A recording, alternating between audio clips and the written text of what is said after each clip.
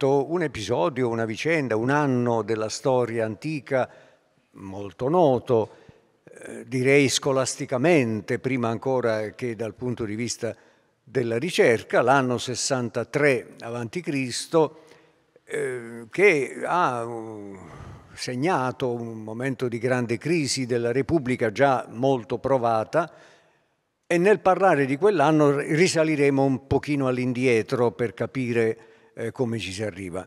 Eh, I due consoli di quell'anno nella Repubblica Romana sono eh, l'uno è Cicerone, eh, notissimo per mille motivi, l'altro meno noto, Gaio Antonio, che potrebbe dirsi zio del triunviro e quindi almeno di luce riflessa può brillare per il fatto di questa eh, connessione con un personaggio che ha avuto poi nel seguito un rilievo enorme, no? il triunviro Antonio.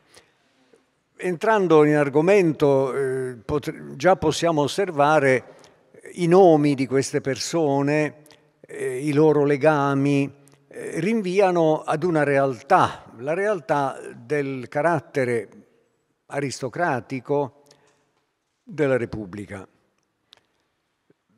Non entro nella questione tanto dibattuta tra gli studiosi e tra i giuristi, soprattutto sulla natura della Repubblica Romana. Mi viene da dire, quando si tocca questo argomento, nella, nella lingua latina non esiste la parola democrazia. Non c'è, eh, c'è in greco, ma non c'è in latino. Non è una carenza, diciamo, lessicale, è una fortissima visione aristocratica del governo della città. È una repubblica aristocratica. Potremmo dire eh, che anche questa è una definizione parziale, impropria.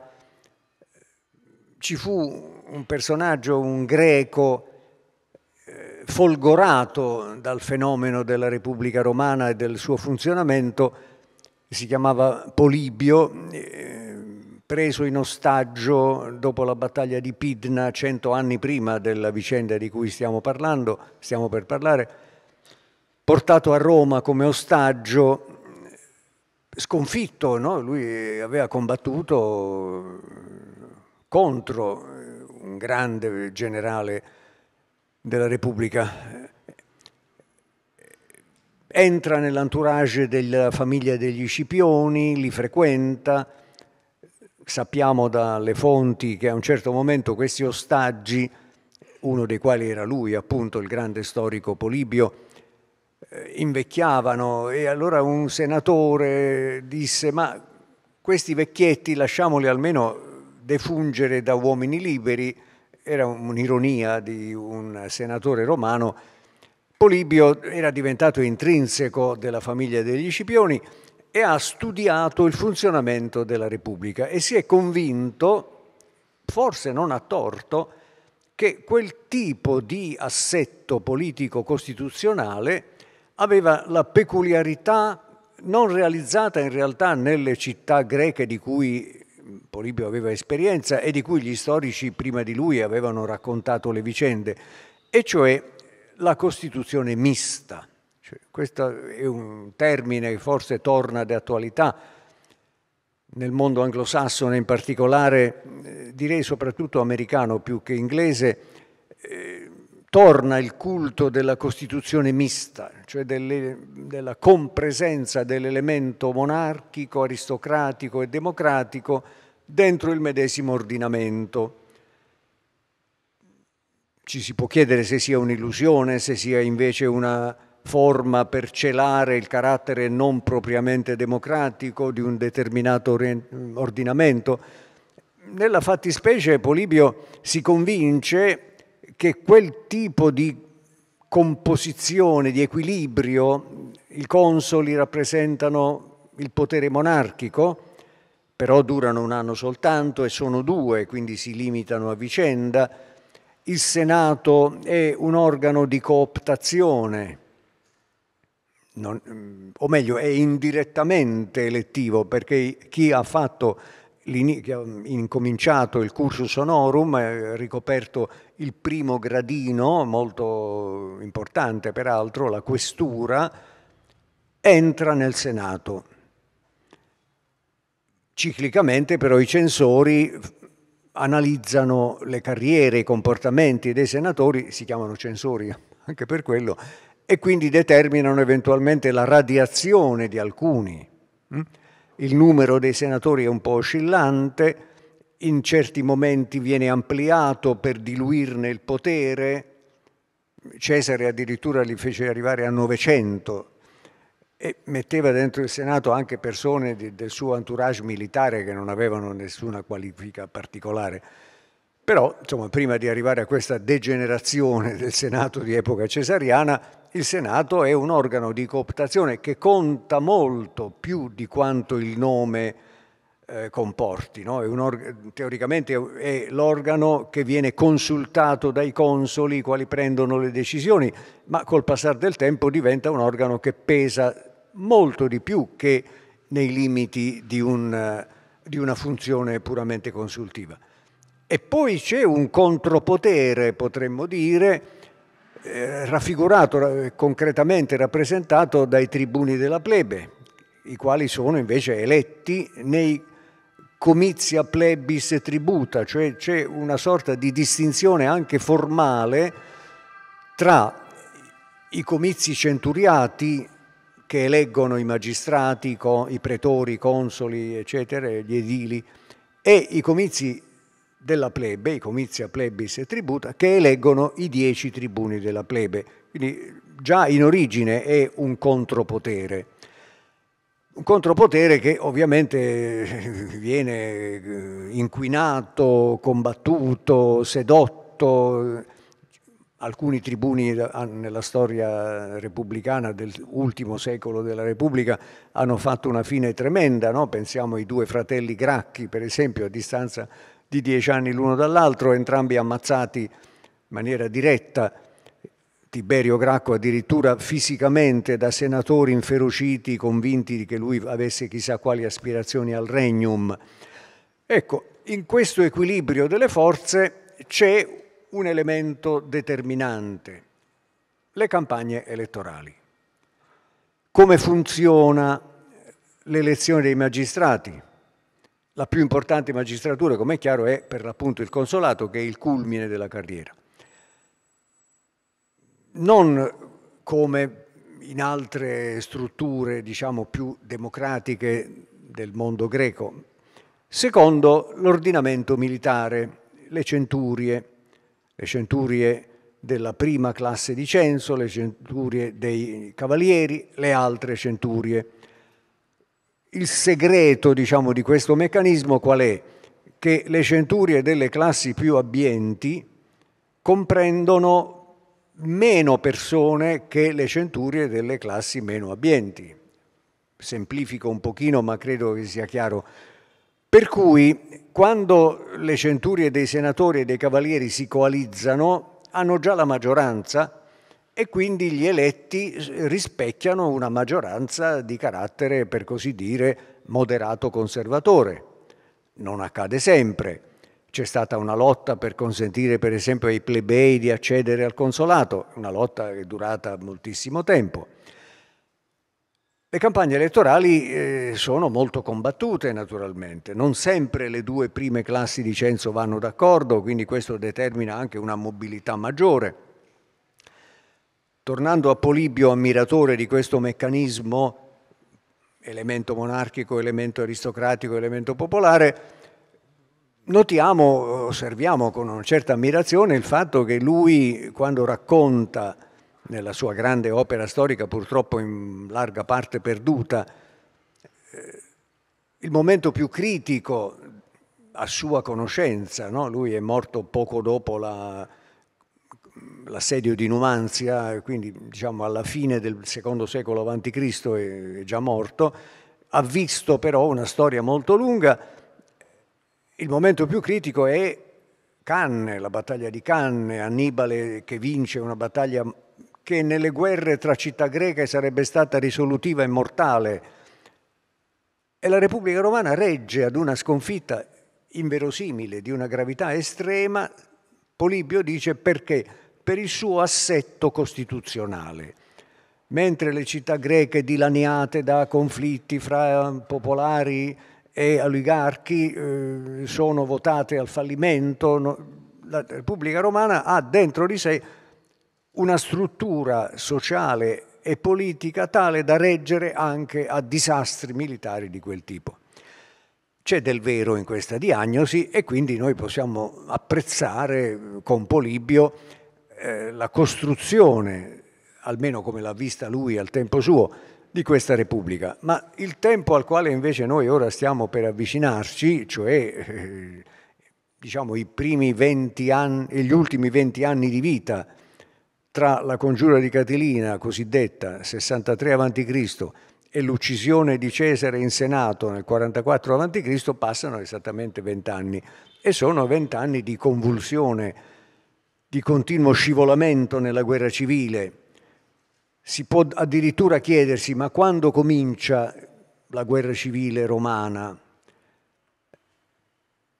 Un grande personaggio di origine greco-alessandrina, quindi un po' egiziano, un po' greco, vissuto sotto gli Antonini, si chiamava Appiano, era nato appunto ad Alessandria, racconta le guerre civili romane partendo dal tribunato di Tiberio Gracco, 133 a.C.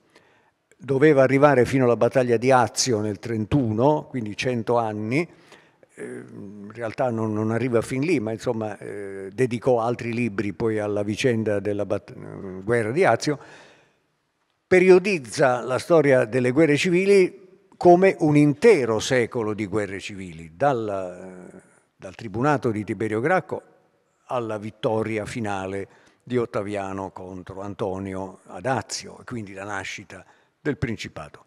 Cento anni.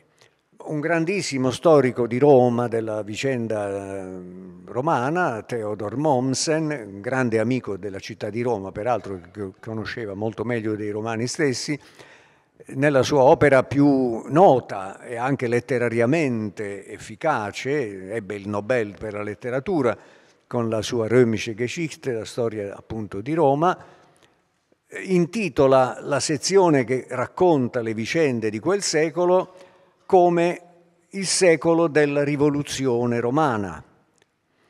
Quindi le convulsioni politiche che travolgono il meccanismo stesso che ho prima descritto eh, hanno nell'anno 63 un punto molto alto, ma comincia questa crisi da molto prima. In fondo il protagonista, passivo o attivo a secondo i punti di vista, cioè Lucio Sergio Catilina, è nato nell'anno 108 a.C., Pompeo e Cicerone erano nati nel 106 a.C., Cesare era nato nel 100 a.C., quindi Catilina era il più vecchio di tutti eh, di questi che ho nominato, era stato un sillano, aveva seguito Silla durante la guerra civile tremenda fra Mario e Silla, sanguinosissima, che coinvolge l'intera penisola italiana. Gli italici hanno ottenuto la cittadinanza romana dopo una guerra terribile dal 90 all'88 e la guerra civile mariana è subito dopo. È quasi un secondo tempo della guerra sociale.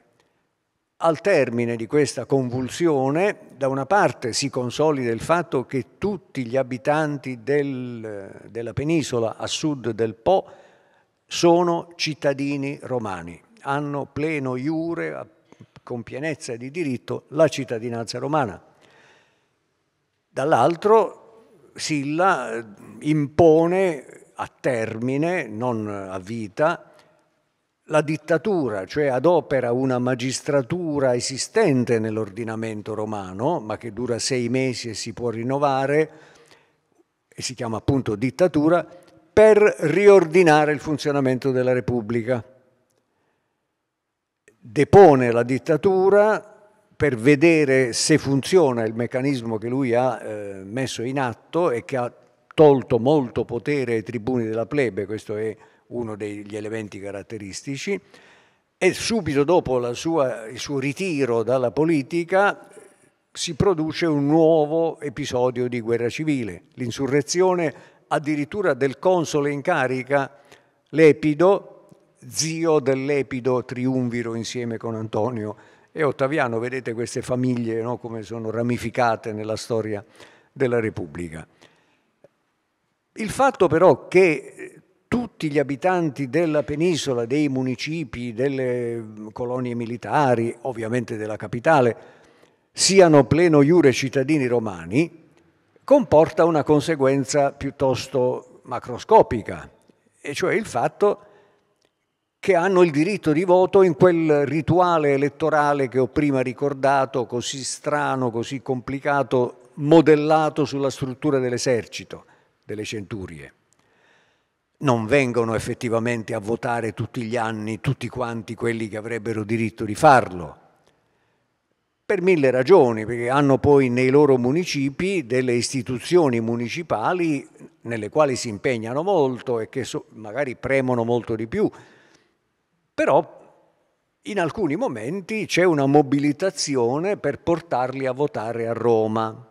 Il paradosso è che sono tutti cittadini romani, ma si vota nella città di Roma, sotto la direzione dei consoli in carica in quell'anno.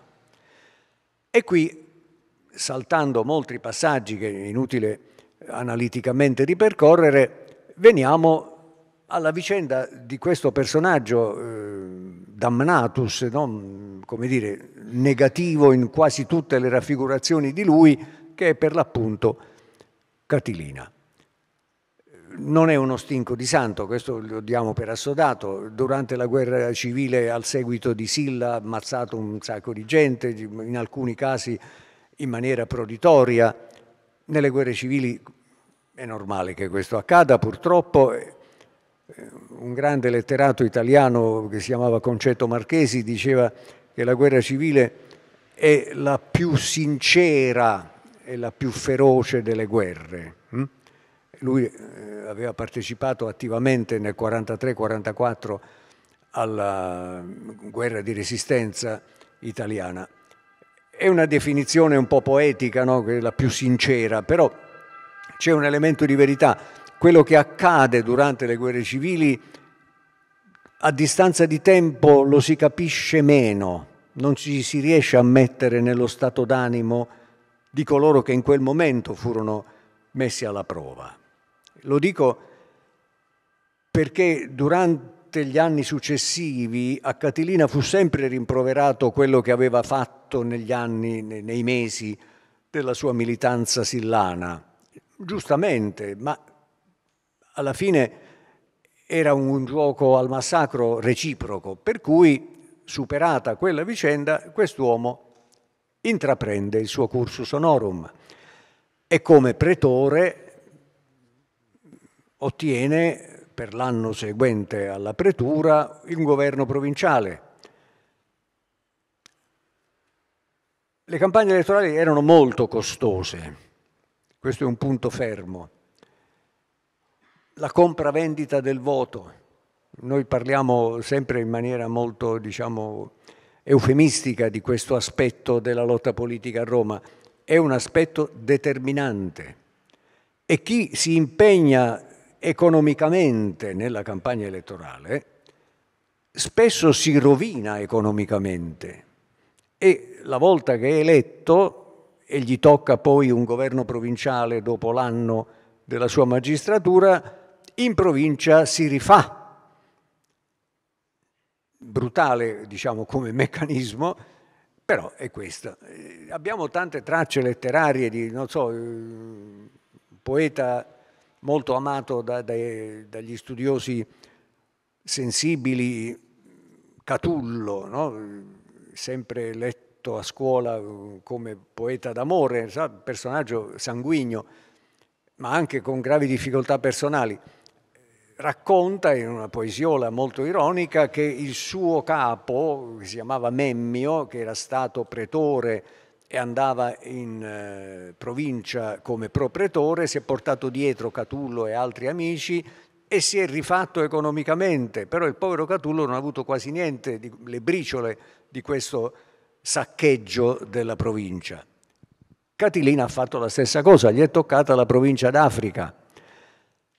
Ma accadeva anche, perché in questa realtà molto combattuta della Repubblica Romana c'è sempre un fenomeno di compensazione. I provinciali hanno diritto di denunciare il governatore che li ha spremuti e quindi gli intentano un processo, lo denunciano alle autorità, quindi i pretori in carica a Roma giudicano in processi nei quali l'imputato è l'ex pretore che ha governato una provincia contro cui è stato innescato un processo de repetundis. E puntualmente questo accade, è anche strumento di lotta politica. Anche Cesare all'inizio ha cominciato la carriera intentando processi di questo tipo. Chi fa questo si crea una clientela provinciale, ma al tempo stesso una grande rinomanza cittadina. Insomma, la verità ne soffre un pochino, ma nel conflitto delle forze in campo certamente i provinciali hanno un diritto che gli viene riconosciuto. Il processo di Catilina è molto pesante per lui perché insomma, i suoi comportamenti sono, non sono stati certamente leggeri. Perché? Ma perché si era rovinato per eh, conquistare la pretura, no? con la compravendita del voto, dare feste sontuose. Anche Cesare si fa eleggere faticosamente pontefice massimo nell'anno 63 e quando uscì di casa per andare a votare disse alla madre o torno e vado in galera o torno Pontefice Massimo. Talmente si era indebitato per questa campagna elettorale.